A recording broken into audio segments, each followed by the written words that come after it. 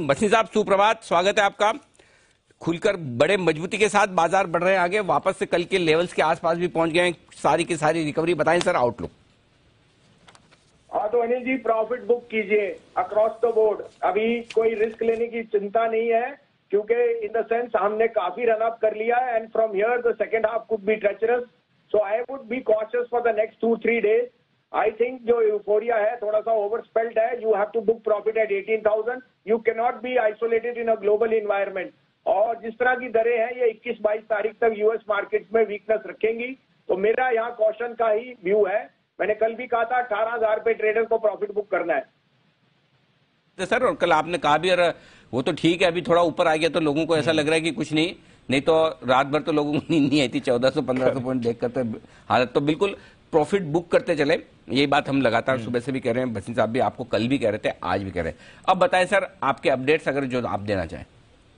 तो अनिल जी आपको कल मैंने दिया था कोटक फेडरल बैंक वो आज आउट परफॉर्म कर रहे हैं लेकिन यहाँ चेष्टा कीजिए अपने आप को हेज करने की। अगर हेज नहीं कर सकते तो आउटराइटली थोड़ा सा प्रॉफिट बुकिंग बुरा नहीं है। क्योंकि यहाँ से अगर 500 पॉइंट की करेक्शन कोई बड़ी बात नहीं है अनिल जी साढ़े अठारह हज़ार अठारह हज़ार एक सौ दो सौ are not easy levels to gauge और यहाँ लास्ट करना थोड़ा सा मुश्किल हो सकता है।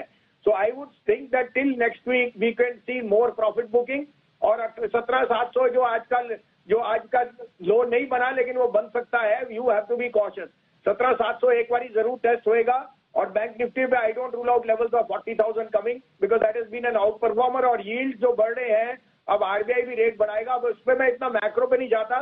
मेरा सिंपल सजेशन है सर प्रॉफिट टेस्ट वो जो बुक करके घर में लाया गए दो तीन दिन शांति कीजिए आपको फिर नीचे का मौका मिल सकता है।